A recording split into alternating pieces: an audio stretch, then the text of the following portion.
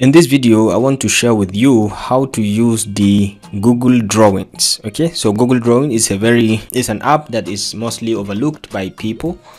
I think basically maybe because it's not made among it's not made among the key features uh, of Google. Okay, you can check, for example, to access Google Drawings, all you need to do is to start by coming to your uh, drive.google.com or you can go to drawing.google.com or from your drive, you come to new over here and you can come to more products and you can see Google Drawings from here. So once you click on this, you will have access to your Google Drawing platform. So this is a brand new Google Drawings platform. The first thing you need to do is to change it, change the name of the document for example. Now it's untitled but you can make it demo one okay? And you can hit enter and you can see this is saved to your drive. And if you like you can move it to a particular folder. For example you just click on this and within your drive you can create a folder okay? You can add to create a folder and you can call it my drawings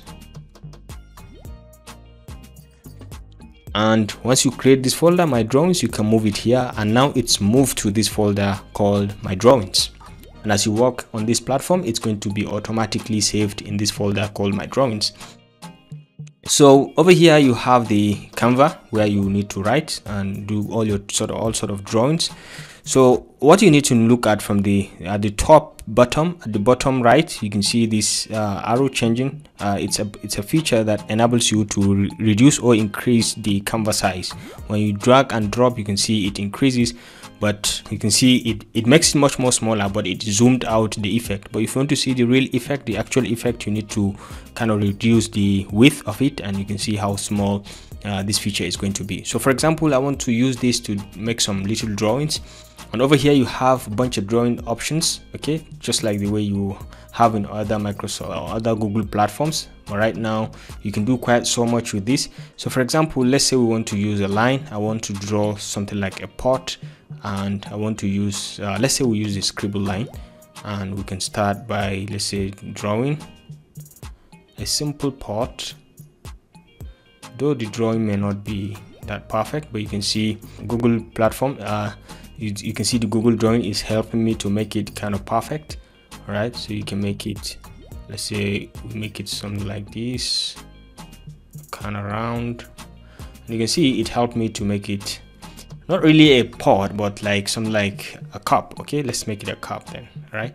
So you can make you can make a handle from here and you can just have it just like that okay? Let's say a cup all right? So once you finished your writing you can have the format options and you can change change the sizing. You have options to change the sizing the locations. You can play around with it and it will move accordingly. And you can lock the aspect ratio in which in indicating that you cannot change the from the different parts because this cup is made of different components. Once you lock the aspect ratio if you increase or decrease the size or change the position it will all change as an as a single entity okay? So this is sizing this is pro, uh, position. You can change the position accordingly. And down here you can change the drop show okay? You can change the the drop shadow equally. You can increase it bring in different kind of transparency and all that. And you can bring in reflection as well. You can add reflection and you can see you, you have some reflection features uh, especially attached to the handle of the cup. So let's say we are not going to uh, touch anything as regards this. And let's say we want to put in color to the cup so you can select each feature and you can come to this coloration and you can insert color to it. You can see we have this red color and we can name this other part of the cup to be maybe uh, this color all right or you can make it uh, also dark red okay? And you can see it's coming up.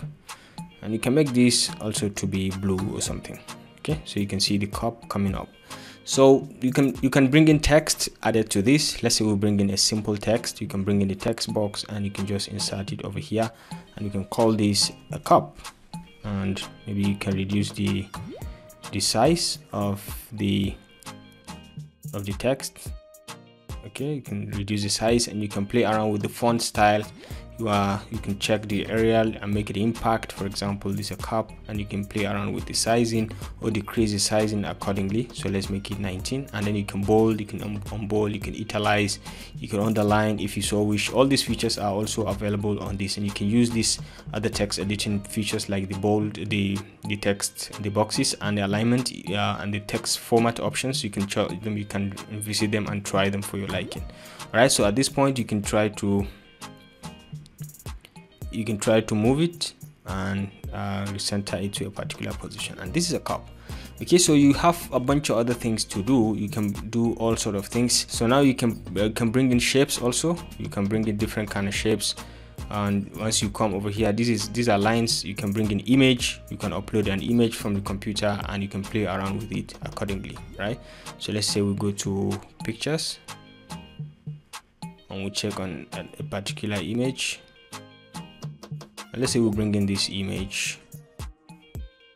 And we're free to bring it down. Right? And you can resize also to your liking. Right? So you can bring in and resize to your liking. You can bring in different kind of shapes from here. You can see all sort of shapes from here. And you can you can see them around. You can see all different kind of shapes. Let's say we bring in a circle.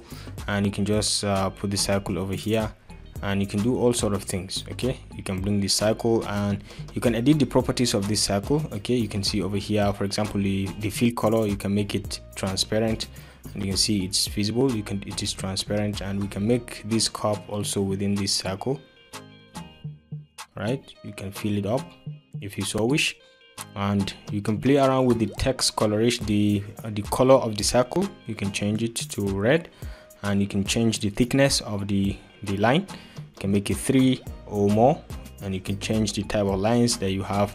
For example you can make it broken line okay and so on. So you can check and see the effect okay? So this is just how to uh, make some little things uh, so so once you you're done with this you can you can have uh, the option to do all sort of things. You can make a copy you can open uh, a different uh, version. You can email this to someone and you can download it in different formats pdf jpeg png and all that. Once you finish your drawings and all you can make available offline. You can make uh, version history. You can check the version history and you can you can move to different folders just like we've shown at the beginning. You can move to trash. You can publish to the web so that you can have a link and you can share easily with people. Okay? You can have the other editing features view features insert features like we've explained.